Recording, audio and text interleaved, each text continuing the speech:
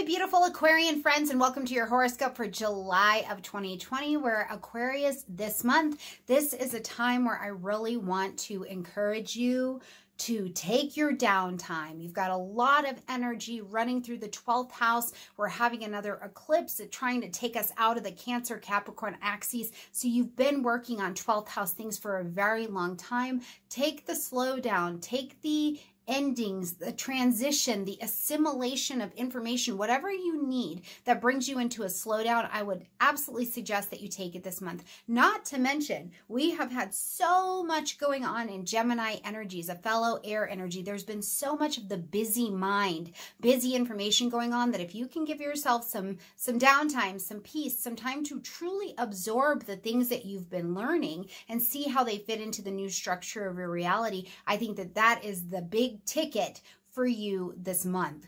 Now, let's just get on in here and talk about what's happening this month right at the beginning of the month, Saturn, one of your traditional ruling planets, is in your sign retrograde. But so he's going to move out of your sign and move into the energy of Capricorn. So coming back into this 12th house space. Then we're going to have a lunar eclipse that happens on the 5th, also in this area. Now, the full moon lunar eclipse says that something needs to be ended, acknowledged, or adjusted, but it sheds all of this really big light because the sun and the moon are in opposition here, right? So it sheds this light on these things things in this area of your life to allow you to see them for what they are. You see the true colors of things in this situation. So, one of the things I just believe so much in with all of this information going on is what do you need to learn? What needs to stay? What needs to stick? and giving yourself time to really absorb that information. Part of learning is stopping to absorb. So, something you may be seeing as this 12th house energy comes here, Saturn retrogrades, and it says, Where do we need to bring more self discipline in? Where do we need to get organized? Where do we need this for our mastery? I think a part of what you're going to see here to adjust is the time that you're spending doing, doing, doing, doing, doing, and instead you got to spend some time just being re-looking over what needs to stick and what needs to stay. The other thing that I continue to think of as I look through the horoscope around this eclipse is that for the next six months, the 12th house connects to things that are hidden. So whether these are behaviors or belief patterns that you've had. You've been working on crystallizing them for a few years now. So it's not anything new that you're looking at. Instead, this is something you've already seen and it's asking if you have mastery over them. So over the next six months, you really get to see if you've made your progress on them, if you've learned the lesson in this area so that you're not self-sabotaging in whatever way that that belief system or that behavior system is doing that.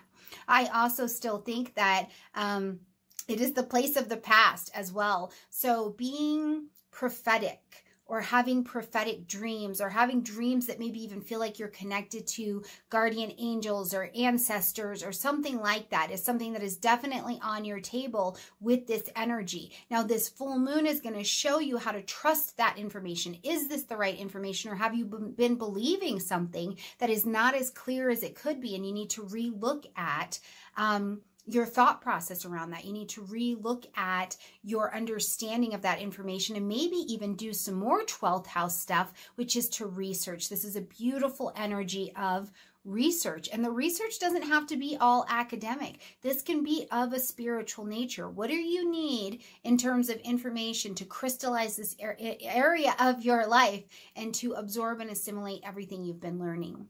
On the 11th, we have Chiron, our wounded healer, stepping into retrograde until December. Now, Chiron is our our wounded healer the hole in our soul the place that we hurt the most but it's also the place where we compassionately teach from in the energy of aries this is talking a lot about the identity and because this lights up the third house space for you aquarius this is about your identity and how you communicate how you show up, how you perceive things. It's interesting in the third house energy. I kind of am wondering here too, Aquarius, if there's something going on where you are, excuse me, you're tackling this identity in your sibling structure right? Like, have you always felt like you're the sibling that fill in the blank? Or have you always felt like your other sibling is the sibling that fills in the blank? But this Chiron and Aries energy here says, Aquarius, to thine own self be true. Your path is your path, no matter what it's needed to look like, no matter where you're at now. It also asks you to put down a fair amount of expectation and accept yourself, accept your identity where you are right here, right now. Now, Chiron and Aries as well, just because this is running through the third house, I do think that this is a delicious energy if you are writing something or you are studying something and it relates back to your identity or it relates back to how you want to be seen or maybe a way you've regarded yourself. We talked a lot at the beginning about the assimilation of information. So, based on a new identity, based on some changes you've been making, based on spiritual information that has come to you and shift you and changed you, what are you learning? What are you writing? What are you ready to share and communicate out with? Either way, remember, Chiron in Aries is asking you to come back to ground, to thine own self be true, and are you doing that? On the 12th, we're going to see Mercury coming out of retrograde in the energy of Cancer.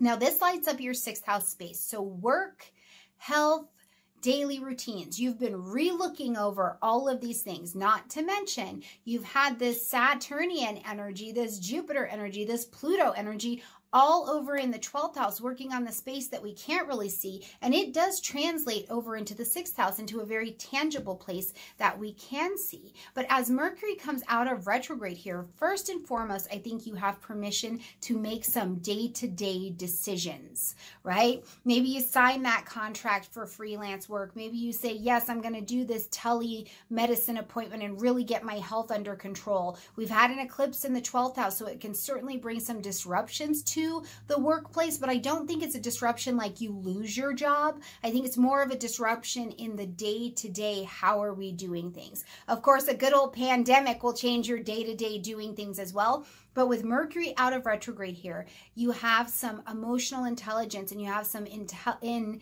intellectual clarity. My goodness, some intellectual clarity to make some decisions to move this area forward. So because you've also got this energy in the third house, I'm wondering for somebody who's maybe freelance out there, is this you? Are you writing? Are you taking on a new freelance contract in some way, shape, or form? And this actually becomes your bread and butter. It actually becomes something that's got a fair amount of financial security attached to it as well. If you do employ people and you have to decide or you have to put regulations in place or day to day things, this will be a wonderful energy to help you be able to do that and maybe make it a little bit smoother as well. But either way, the decisions are informed at this particular point in the month. Now, on the 20th, we're also going to have a new moon at 28 degrees of Cancer. So, again, it's lighting up this sixth house space, right? co-workers, the daily routine, the health. So because this is going to be a new moon and you can plant your seeds of intention to begin something here, I ask you, what do you want in your work life? In your day to day life? Are you hanging out and you're already exhausted for tomorrow, right? Is there too much stress? Is there something that you need to pull in and have some more downtime in this 12th house space? Is there something you need to say no to? Is there something you need to say yes to? What do you want your daily routine and your health life and your work life to look like? Because this new moon is your chance to plant those seeds and watch them bloom out over the next four weeks. Now, as we end this month, we're going to end in the uh, with the sun in the energy of Leo. Now, this is big. It is bright. It is exciting. It is bold, right? There is a lot of drama to be seen around this. Now, this lights up across the street for you, so the seventh house. Because the sun brings that light, heat, life, and motivation and so much movement to this area of your chart, I have no doubt that a significant person could be coming into your life. Now, does that make them significant because they're just bringing all the best things on the planet? Or are they significant because they come in and they challenge you in some way that really pushes you to grow or shapes a time in your life?